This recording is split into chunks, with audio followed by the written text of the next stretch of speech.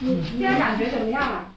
Kısa sürede 56 ülkeye yayılan koronavirüs salgınına yönelik önlemler arttırılıyor. Salgının ortaya çıktığı Çin ve vaka sayısının yükseldiği İran'ın ardından en çok etkilenen ülkeler İtalya, Irak ve Güney Kore ile geliş gidiş tüm uçuşlar durduruldu.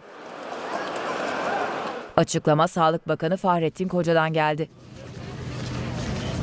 Bakan Koca Bilim Kurulu'nun önerisiyle Ulaştırma ve Altyapı, Dışişleri, İçişleri ve Ticaret Bakanlıklarının koordinasyonuyla yeni bir tedbir daha uygulamaya konulduğunu duyurdu. 14 gün karantinaya İtalya, Güney Kore ve Irak'la karşılıklı uçuşlar dışında komşu Irak'la kara sınırlarının da araç ve yolcu geçişine kapatıldığını açıkladı.